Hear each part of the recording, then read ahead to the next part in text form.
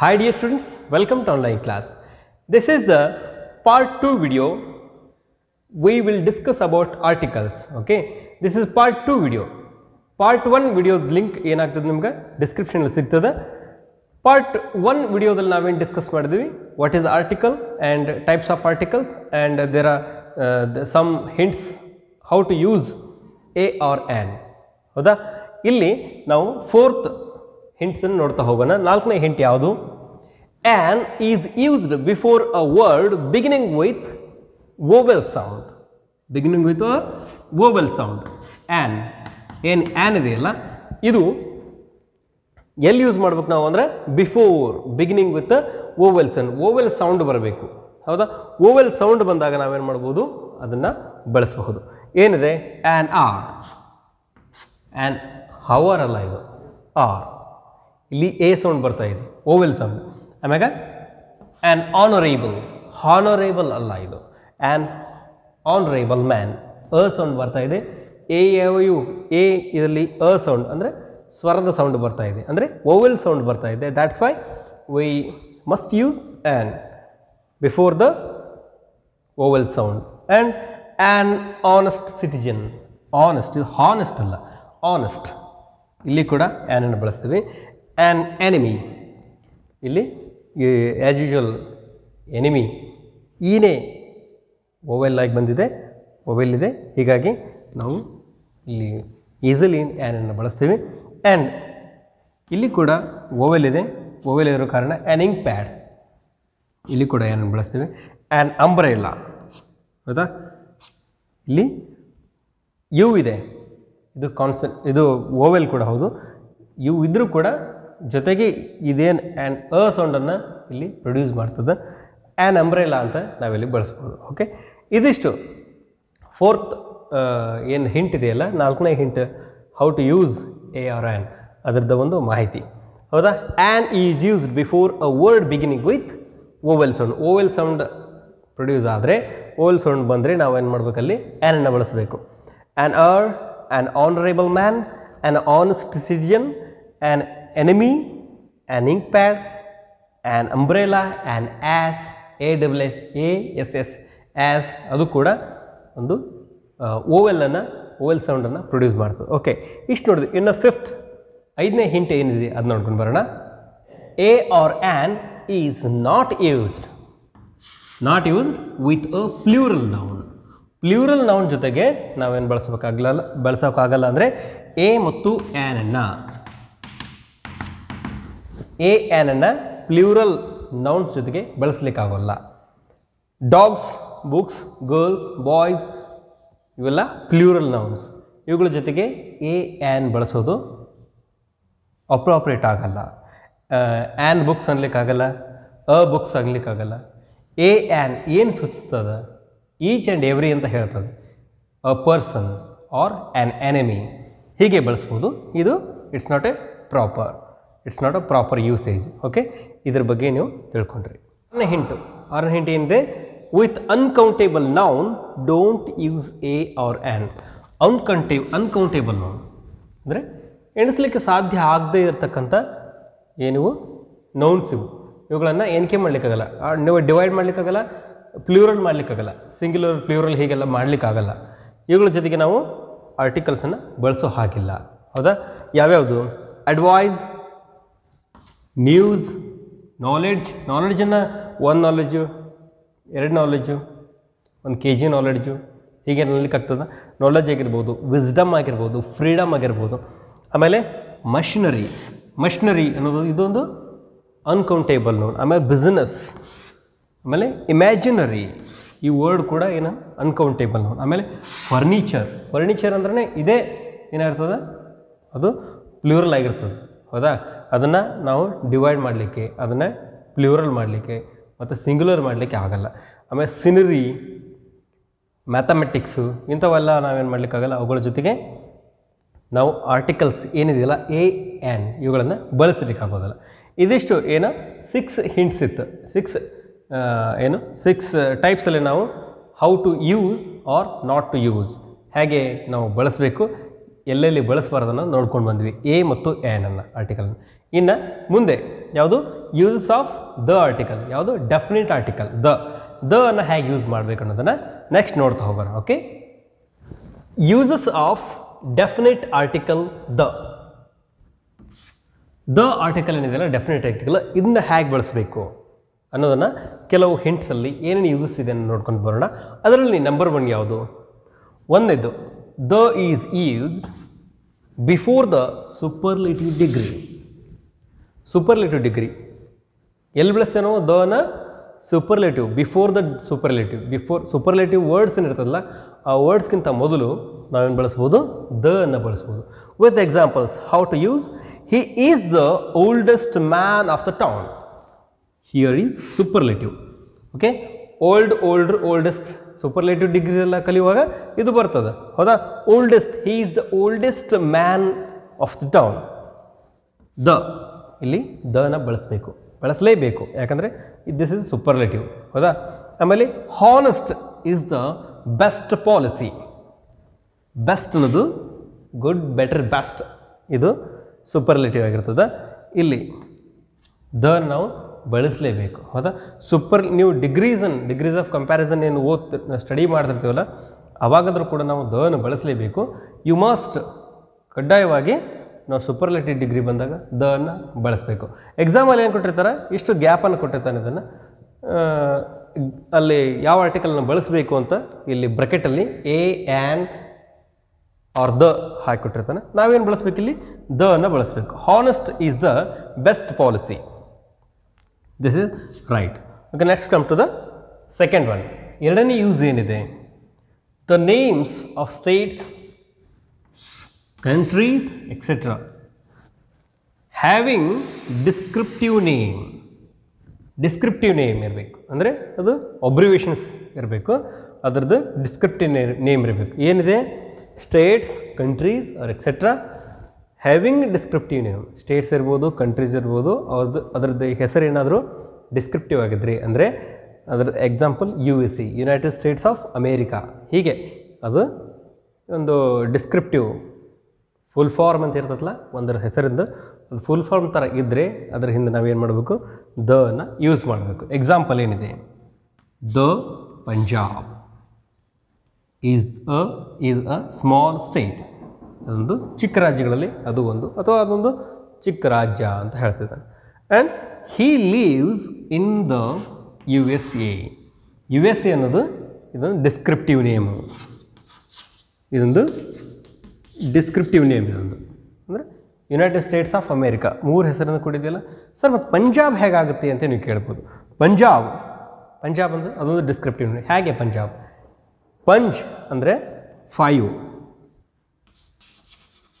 P U N J. ಪಂಜ್ ಅಂದರೆ ಇದು five. ಆಮೇಲೆ ಅಬ್. ಪಂಜಾಬ್. ಅಬ್ ಅಂದರೆ water.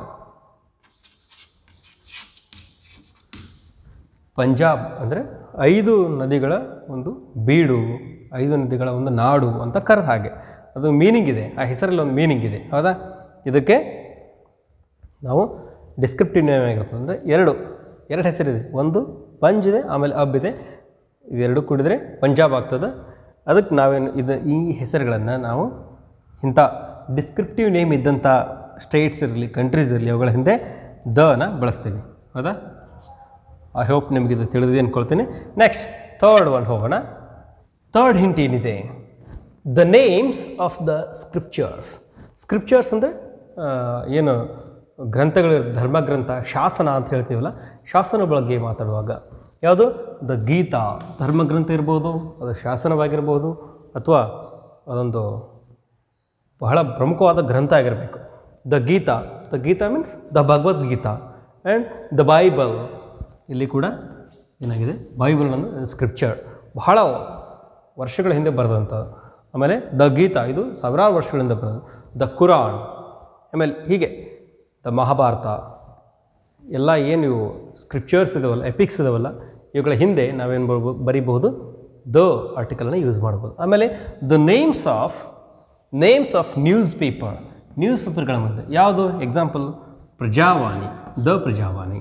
The Deccan Herald the Hindu the Times of the news times ಹೀಗೆಲ್ಲ ಏನು news papers the Vijaya Karnataka the Vijayavani ಹೀಗೆಲ್ಲ ನಾವು ಬರಿತಾ ಬರಿತಾ ಹೋಗ್ಬೋದು.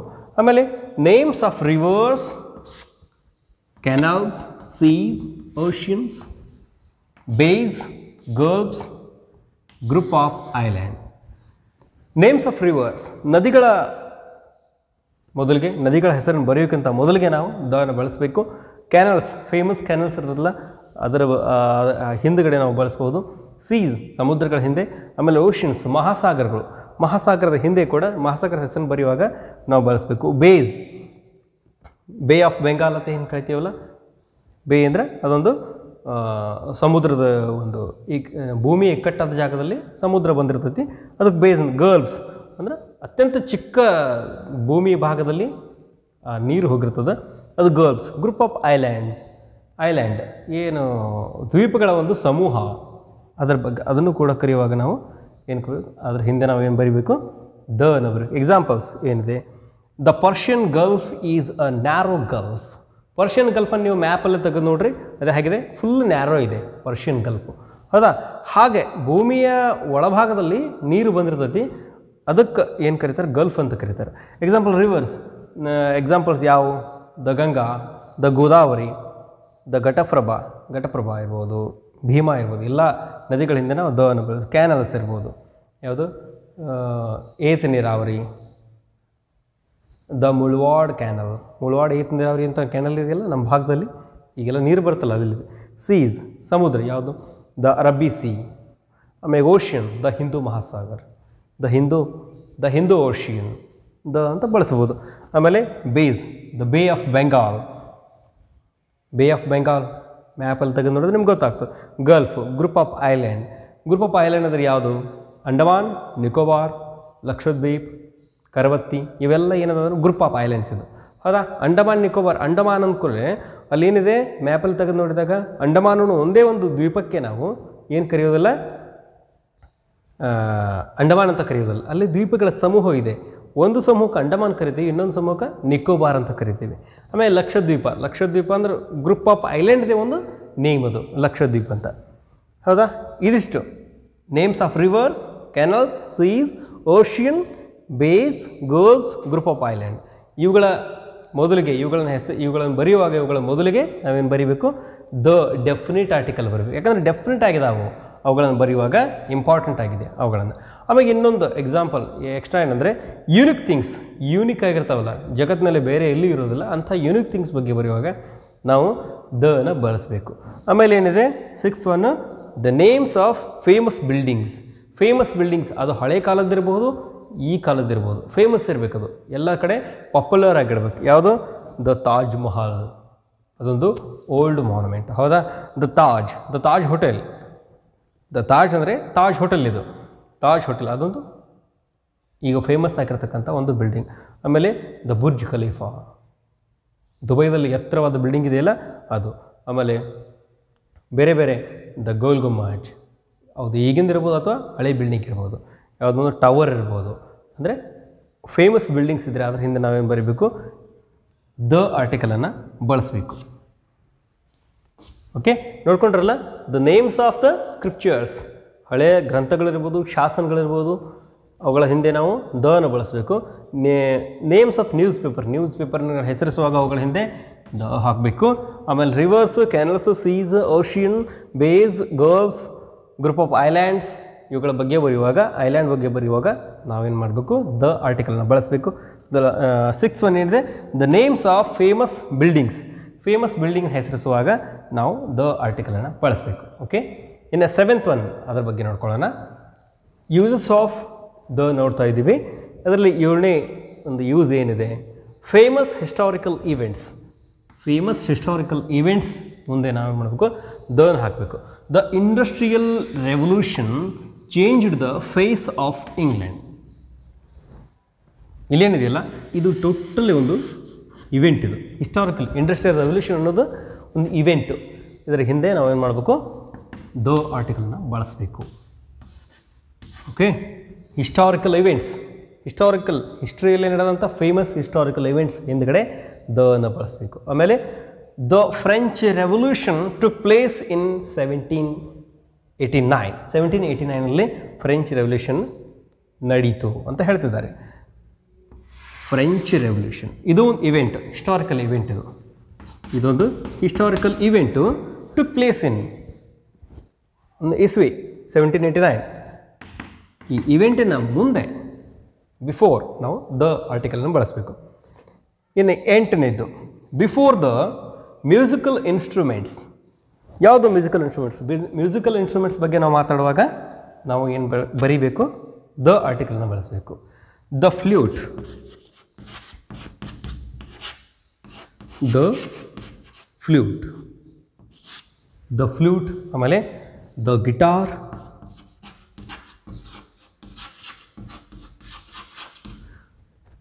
The guitar, the harmonium, the tabla, the sitar. ಹೀಗೆ ಏನು ಇನ್ಸ್ಟ್ರೂಮೆಂಟ್ಸ್ ಇದೆಯಲ್ಲ ಅದರ ಹಿಂದುಗಡೆ ಎಲ್ಲ ನಾವು ದ ಆರ್ಟಿಕಲನ್ನು ಬಳಸಬೇಕು. ಕಂಪಲ್ಸರಿ ಇದು. Before the musical instruments okay the shehnai ಇರ್ಬೋದು. ಓಕೆ ಒಂಬತ್ತನೇದು. ನೇಮ್ಸ್ ಆಫ್ ಯೂನಿಕ್ ಥಿಂಗ್ಸ್ ಆಗಲೇ ಹೇಳಿದ್ದೆ ನಿಮಗೆ. ಯೂನಿಕ್ ಥಿಂಗ್ಸ್ ಯೂನಿಕ್ ಥಿಂಗ್ಸ್ ಬಗ್ಗೆ ಮಾತನಾಡುವಾಗ, ಬರೆಯುವಾಗ we must use the article before the unique things unique things ಅವುಗಳಿಗಿಂತ ಮೊದಲು ನಾವೇನು ಮಾಡಬೇಕು? ದನ್ನು ಬಳಸಬೇಕು. ದ ಸನ್ ಸನ್ ಯೂನಿಕ್ ಅಲ್ಲ? ಸನ್ ಸೂರ್ಯ ಅನ್ನೋದು ಯೂನಿಕ್ ಅದ ಅದರಂಥ ಇನ್ನೊಂದು ವಸ್ತು ಇಲ್ಲ. ದ ಮೂನ್ ಮೂನ್ ಕೂಡ unique the galaxy the earth the Mars the Neptune the Pluto the Milky Way ಎಲ್ಲ ಯುನಿಕ್ ಥಿಂಗ್ಸ್ ಯುನಿಕ್ ಥಿಂಗ್ಸ್ ಬಗ್ಗೆ ಮಾತಾಡುವಾಗ ನಾವು ದನ ಬಳಸಬೇಕು. ಓಕೆ ಇನ್ನು ಉಳಿದಂಥ ಇನ್ನೆರಡು ಏನು ಯೂಸಸ್ ಇದೆಯಲ್ಲ ಅದನ್ನ ನೋಡ್ತಾ ಬರೋಣ. Tenth one when a singular noun is is meant to represent a whole class singular noun ಇದೆಯಲ್ಲ ಸಿಂಗ್ಯುಲರ್ ನೌನು ಅದು ಹೋಲ್ ಕ್ಲಾಸನ್ನು ರೀಪ್ರೆಸೆಂಟ್ ಮಾಡ್ತಾ ಇದ್ದರೆ ಹೋಲ್ ಕ್ಲಾಸನ್ನು ಪ್ರತಿನಿಧಿಸ್ತಾ ಇದ್ದರೆ ನಾವೇನು ಮಾಡಬೇಕಲ್ಲಿ? ದ ಆರ್ಟಿಕಲನ್ನು ಬಳಸಬೇಕು. The dog is a faithful animal. Dog ಅನ್ನೋದು ಇಲ್ಲಿ ಸಿಂಗ್ಯುಲರ್ ನೌನ್ ಇದೊಂದು. ಹೌದಾ? ಇದೊಂದು singular noun. The dog is a faithful animal. Faithful animal animal ಅನ್ನೋದು ಒಂದು ಹೋಲ್ ಕ್ಲಾಸ್ ಇದು. ಹೌದಾ? ಎಲ್ಲ ನಾಯಿಗಳು ಬಂದವು ಇಲ್ಲಿ. ನಾನಿಲ್ಲಿ the white dog or the German shepherd dog or the Labrador dog ಈ ಥರ ಹೇಳ್ತಾ ಇಲ್ಲ ನಾನು. The dog is a faithful animal ಎಲ್ಲ ಪ್ರಪಂಚದ ಎಲ್ಲ ನಾಯಿಗಳು ಇದರಲ್ಲಿ ಬಂದವು. ಎಲ್ಲ ನಾ, ನಾಯಿದೊಂದು, ಅದು ಸೆಕ್ಟ್ ಇದೆಯಲ್ಲ ಅದೆಲ್ಲ ಬಂತಿದ್ರಲ್ಲಿ ಈಸ್ ಅ ಫೇತ್ಫುಲ್ ಎನಿಮಲ್ ಇಲ್ಲಿ ಡಾಗ್ ಅನ್ನೋದು ಸಿಂಗ್ಯುಲರ್ ನೌನ್ ಆಮೇಲೆ boys are very good the boys are very good the boys ಅಂದರೆ ಮುಗಿತು. ಅಂದರೆ ಎಲ್ಲ ಬಾಯ್ಸ್ ಬಂದರೆ ಅದರಲ್ಲಿ. The girls are very good ಹೀಗೆ ಒಂದು ಇಡೀ ಸೆಕ್ಟ್ ಒಂದು ಒಂದು ಗ್ರೂಪ್ ಬರ್ತದೆ. ಒಂದು ಗ್ರೂಪ್ ಬರ್ತಂದ್ರೆ ಹೋಲ್ ಕ್ಲಾಸ್ ಅನ್ನೋದು ಪ್ರತಿನಿಧಿಸ್ತಾ ಇದ್ದರೆ ಅದಕ್ಕೆ ನಾವೇನು ಅಲ್ಲೇನು ಬಳಿಬೇಕು ಅಲ್ಲೇನು ಬರೀಬೇಕು ನಾವು? ದ ಆರ್ಟಿಕಲನ್ನು ಬರೆಸಬೇಕು. Okay eleventh one last one with ordinals before the ordinals ನಾವೇನು ಮಾಡಬೇಕು? ದ ಆರ್ಟಿಕಲನ್ನು ಬಳಸಬೇಕು. ವಿತ್ ವಿತ್ ಆರ್ಡಿನಲ್ಸ್ ಆರ್ಡಿನಲ್ಸ್ಗಳ ಜೊತೆಗೆ ಆರ್ಡಿನಲ್ಸ್ ಅಂದರೆ ಯಾವುದು? The first the second the third the fourth ಇದೇನು ಆರ್ಡಿನಲ್ಸ್ ಇರ್ತದಲ್ಲ ಆರ್ಡಿನಲ್ಸ್ ಹಿಂದ್ಗಡೆ ನಾವು ದ ಆರ್ಟಿಕಲನ್ನು ಬಳಸ್ತಾ ಹೋಗ್ಬೇಕು. ಓಕೆ ಆರ್ಟಿಕಲ್ಸದು ಇದಾಗಿತ್ತು ಇಷ್ಟು ಮಾಹಿತಿ. ಫಸ್ಟ್ ಆರ್ಟಿಕಲ್ದು ಪಾರ್ಟ್ ಒನ್ ವಿಡಿಯೋ ನೋಡಿದ್ರಿ. ಆಮೇಲೆ this is part two okay thanks for watching keep watching